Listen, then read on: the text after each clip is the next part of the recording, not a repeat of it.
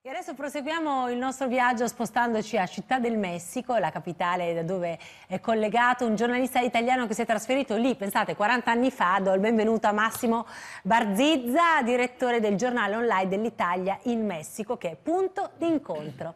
Benvenuto all'Italia con voi. Grazie mille, grazie, è un piacere essere con voi. Allora Massimo ci diamo del tu visto che siamo, che siamo colleghi. Eh, innanzitutto vorrei capire meglio quanti italiani eh, risiedono, sono lì in, in Messico e quali, quali sono le, le, attività di cui si occupano principalmente. Beh, in Messico ci sono circa 45.000-50.000 italiani residenti in Messico, di, di, cui circa la metà è ufficialmente registrata e iscritta all'AIRE.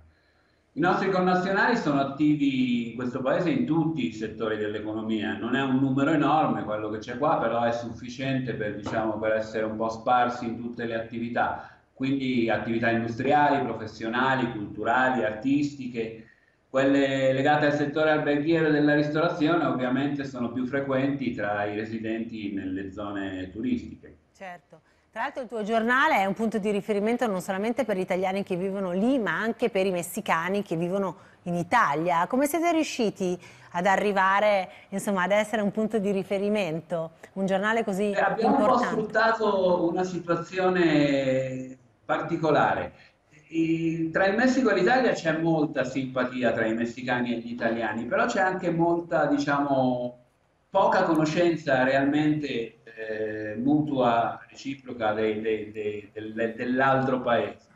Quindi abbiamo un po' sfruttato il fatto che eh, in, in, Messico i messicani non conoscono bene bene l'Italia e viceversa e abbiamo cominciato a pubblicare notizie che potessero essere di, di interesse per entrambe le comunità. E soprattutto... Quindi, quali Scusa, sono gli, gli argomenti che, che piacciono? Che non è quella che normalmente viene pubblicata dai giornali italiani, cioè non ci occupiamo tanto di cronaca nera, ma di altre notizie che, che hanno a che fare con le moltissime attività che esistono nel paese.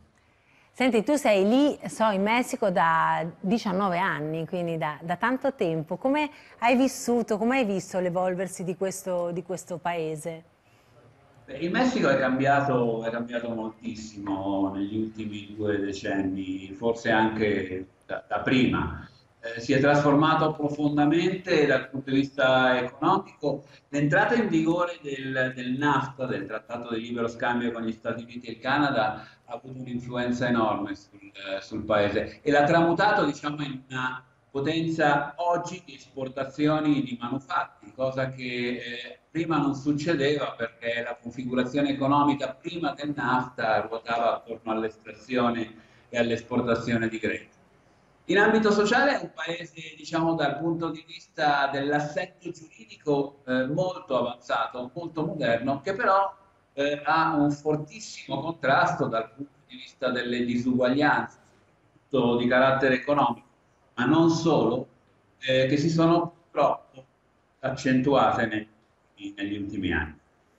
Senti Massimo, con l'elezione di, di, di, Biden a Presidente degli Stati Uniti adesso eh, si aprono nuovi scenari per quanto riguarda eh, l'immigrazione negli Stati Uniti. Tu come, come la vedi? Che cosa si, si prospetta?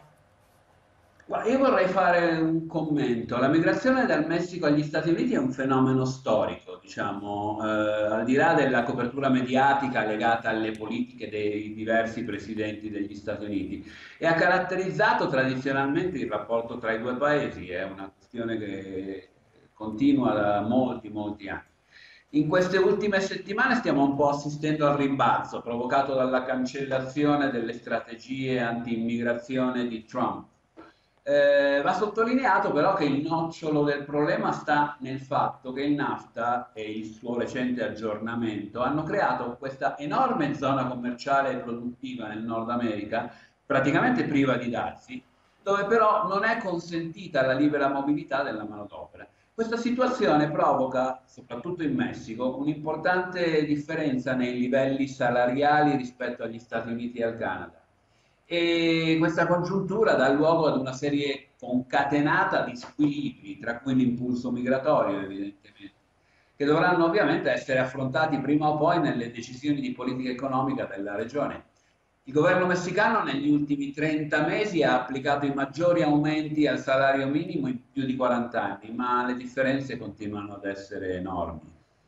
Massimo, ti ringrazio molto per esserti collegato con noi, buon lavoro ovviamente.